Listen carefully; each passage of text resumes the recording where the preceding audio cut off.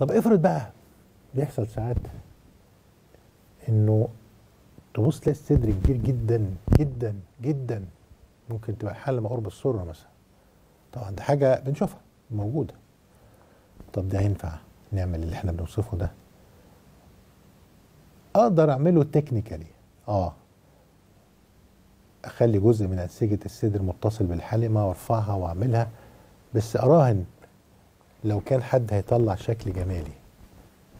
يعني إيه؟ يعني الطريقة دي ليها حدود.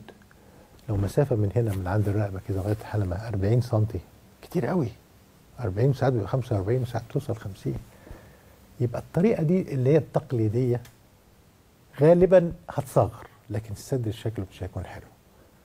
فده الشيء لازم نكون متفقين عليه لأن أنا أنا بنصحك دايما وإحنا بنتكلم قبل العملية تعالي اسألي. وريني بقى دكتور كده حالات. نحاول نشوف حالة قريبة من حالتك قبل وبعد. فإذا كانت الحالة كبيرة قوي وريني بقى أنت عملتها إزاي. لأن أنا بسمع الكلام ده من دكاترة لا لا أنا ما بعملش غير كده أنا بعمل ورينا. بتلاقي فعلا السير صغر لكن مش جميل ما هوش عملية تجميل.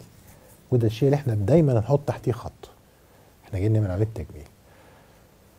فبيتعمل ساعتها عملية تانية. شوف أنا بشرحها لكن ولا وبنبسط إن أنا بشرحها لأن أنا عندي منها نتائج هايلة لأن شفت منها نتائج هايلة. بنشيل من الصدر الواحد ممكن كل ناحية بتاعت 2 كيلو ونص ساعات توصل 3 كيلو من كل ناحية. تخيل بقى واحدة ماشية ب 6 كيلو طول عمرها ليل نهار قايمة نايمة شايلاهم. ده التاثير على الرقبة وعلى فقرات العنق وعلى الظهر وعلى الكتف وعلى كل حاجة. فده له طريقة تانية بقى. دي بقى الطريقة اللي بتتعمل. أنا أقول مثلا الحالات دي تمثل كام في المية في شغلي؟ إذا كنت بعمل مثلا تصغير 10 15 حالة كل شهر فدي مثلا كل شهر نشوف حالة كل شهرين نشوف حالة. اللي إحنا بناخد فيها رقعة ناخد الحلمة هنطلعها بره. ونصغر بقى الصدر وناخد المقاس ونطلعه وندوره ونكيفه زي ما إحنا عايزين.